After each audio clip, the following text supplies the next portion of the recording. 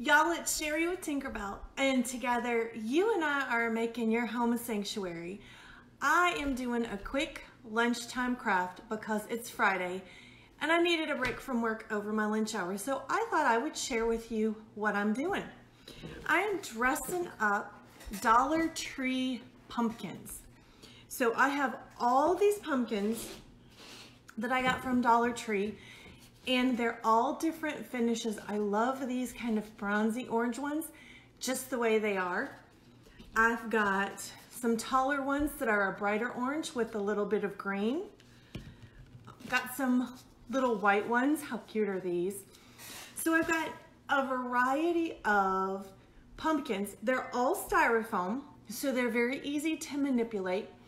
And I have just decided some of them need a little bit of sparkle and a little bit of dress. So let me show you what I've done so far.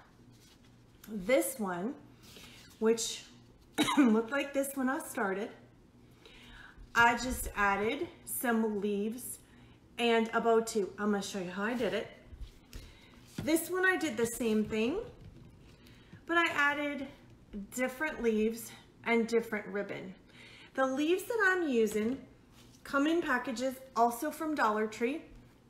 You can get them at Hobby Lobby as well. Right now, all their fall stuff is 40% off, or AKA regular price in Hobby Lobby world, right? They put all of their seasonal stuff on sale for the whole season. But listen, y'all, you want the leaves that are flexible. See how you can almost see through that leaf? Oops, I just dropped it and I can kind of crumple it up. You do not want the leaves that have a spine. See how those have a plastic spine to them?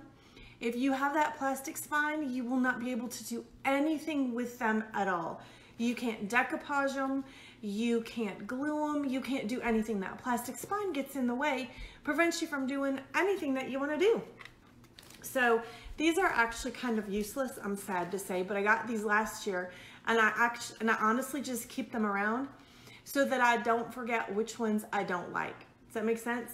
So you don't want the leaves with the spines. You want the leaves in the packages that are nice and flexible that you can crumple up. Okay, so let me show you a couple of other ideas before I get started making the ones that I'm gonna keep for me. you can use all kinds of stuff to embellish these pumpkins. And I have over here off camera, I have a bunch of different kinds, colors, styles of flowers and hmm, maybe like wheat. I don't know what you would call this. Florally stuff. How about that for a technical term? And it all came from Dollar Tree. Every last bit of it came from Dollar Tree. So I just grabbed a bunch of their fall flowers and greenery. I actually have about five bags of this in my craft crap room because it's gorgeous and I didn't know if they would ever have it again. So what I'm gonna do is I'm gonna create two different groupings of pumpkins. Don't know where I'm gonna put them yet, but when I figure it out, I'll post pictures. And one grouping, I'm gonna use all of the pumpkins that have the more orangey, gold, tealy, tealy, greeny kind of colors. And then I've got a brighter grouping that I'm going to put somewhere else and I found this one lonely super bright orange pumpkin and I'm gonna leave that one just as it is. And then I found a few of these cute little white styrofoam pumpkins. So I'm gonna leave one plain the only thing I don't like about these guys is that the stems are a little wonky, but I guess for a dollar you get what you pay for, right? But what I did with this one is watch. Cute, isn't it? All right, so these are styrofoam. This stem pops right out. Don't throw this stem away. I made that mistake. Don't throw the stem away. You might decide in a hot minute that you want that stem. Okay, so I'm gonna take one of these mums, one of these little mum blooms from one of my batches, and let me make sure it's gonna fit. Yep, it fits perfectly in that one. So I'm gonna take some hot glue and I'm just gonna put a big dab of hot glue right here. And then I'm gonna set that stem down in that hole. How cute! It's adorable, right? Super easy, took you like two seconds and a couple of dollars. So I have two of these that I'm gonna use in the bright grouping.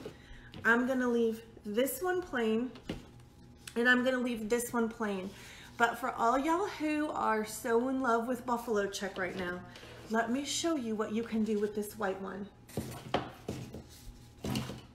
If you take some buffalo check ribbon, okay, it can be narrower.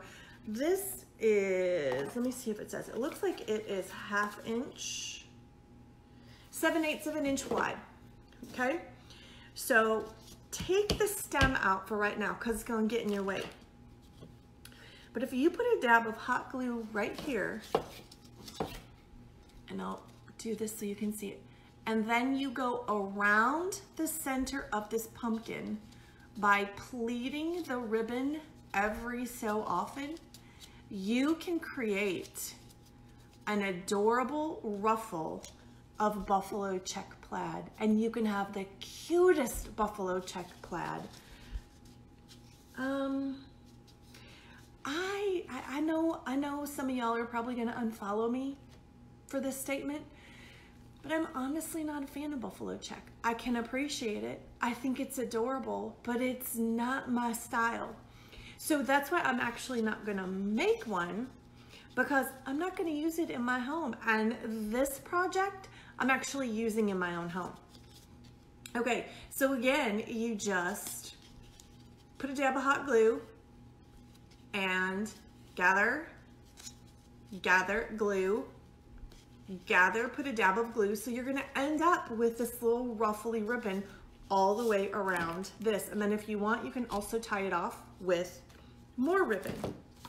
I think that this is super cute. I took one of the daisies off of this stem of greenery and I just took the top, the stem, took the stem out of a pumpkin and just set the daisy right down in the center.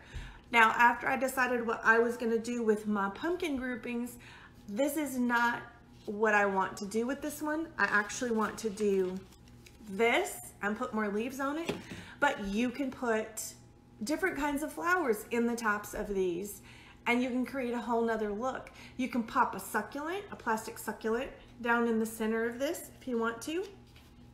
Um, but what I'm gonna show you is how I do this because it will not take very long at all. You guys are gonna be so excited with how simple and easy this project is. And then you can dress up your Dollar Tree pumpkins and have a whole custom look just for you. Okay, I can't get that untied. All right, so I'm gonna grab some of these leaves and I'm gonna do is put a glob of hot glue. Be careful y'all, these are very thin. The hot glue will seep right through the leaf and burn the bejesus out of your fingers. All right, so I am just I'm finding some of the smaller ones.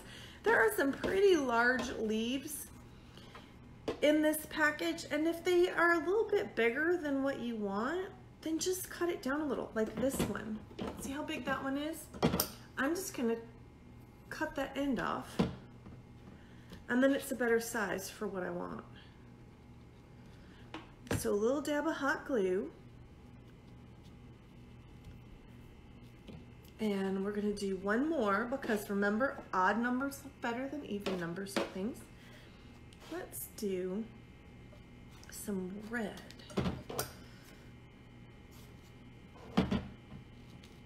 Okay, because pumpkins don't all grow. Oh, that one's got a wonky. I don't like that one. That one's got a wonky leaf. All right, we'll try that one. Much better. Ooh, and I like the black shown on the top of that one. So see, I'm just gonna put a dollop of hot glue, set it down. I like that black shown on the top.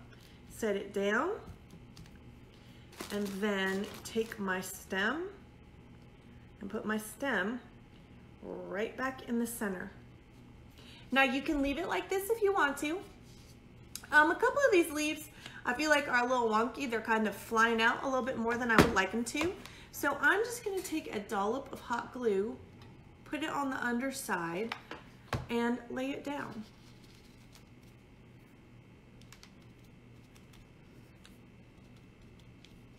Give it just a quick tap so that it stays. And I'm gonna do the same thing all the way around. Because this is such an easy project. And it just gives a little bit extra to Dollar Tree pumpkins. Nobody will know, not like we care, right? But nobody will know that you bought them from a Dollar Tree. And again, you can customize them however you want them. You can tie raffia around them. You can do like I've done and tie ribbon. This one, I'm gonna stare at this one for a minute. You know what? I need a little something over on this side. See how it's lopsided? Find a small leaf. There we go. So I'm just gonna add this one to the top. Hey, Christina, how you doing, girl? I am taking a lunch break to do a quick, quick craft because it has just been that kind of a week and I needed a minute to do something besides, you know, work. So we are transforming Dollar Tree pumpkins, our favorite place to shop, right? All right, this one's being stubborn. Okay, so you got all the leaves all glued to the top. And I like, get all the hot glue strings away.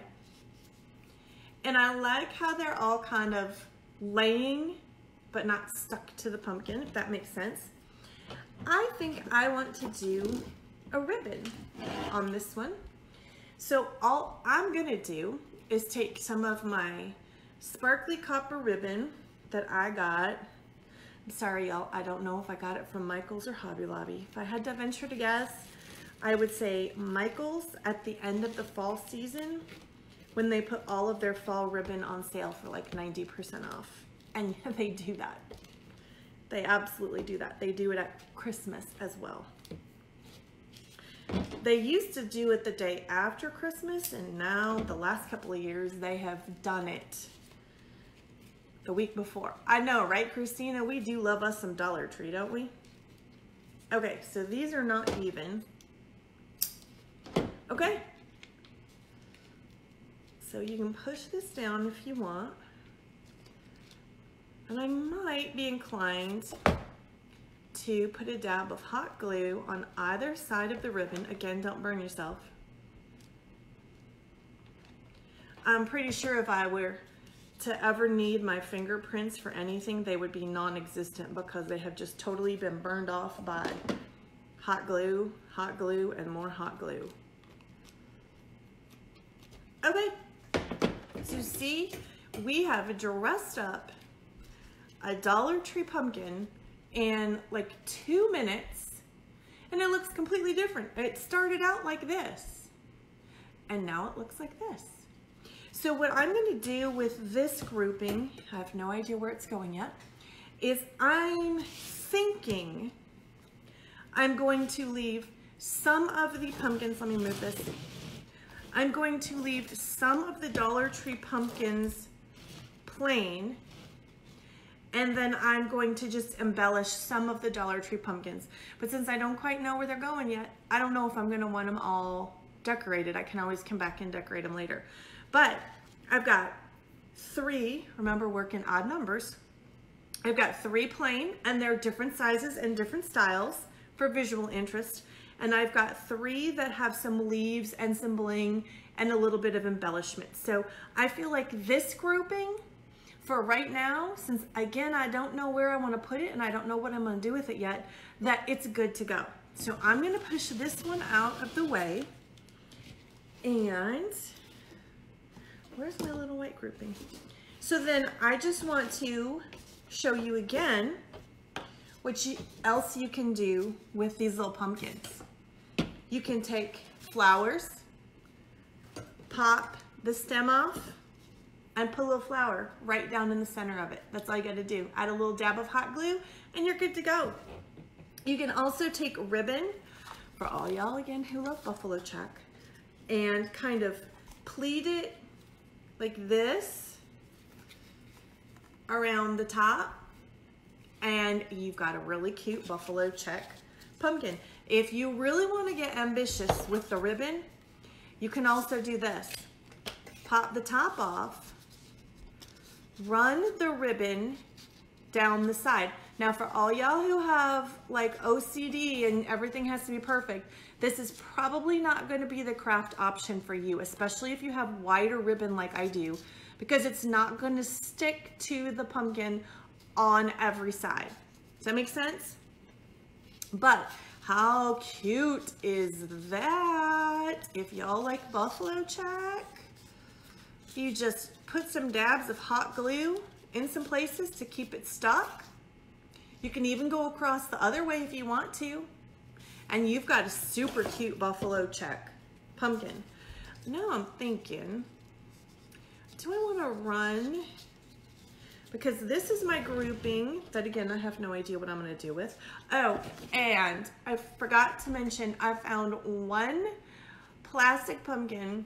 He was very lonely all by himself and so I felt sorry for him at Dollar Tree and I decided to bring him home. But as much as I love glittery stuff, a glittered pumpkin to me makes absolutely no sense. Not like a white pumpkin with a mum in the center of it makes sense, but just go with me here for a second. Plus, it's the only glitter pumpkin that I have. So what I'm gonna do is um, later when I'm done working, um, I am gonna be out in the shop. I've got some custom orders to do. I'm gonna spray paint this one white with my super cheap spray paint. And then I will have another white one for this grouping of a slightly different size to give it some interest. And I'll have one orange one and I'll have two white ones with kind of matching orange flowers and then I'll have two plain white ones.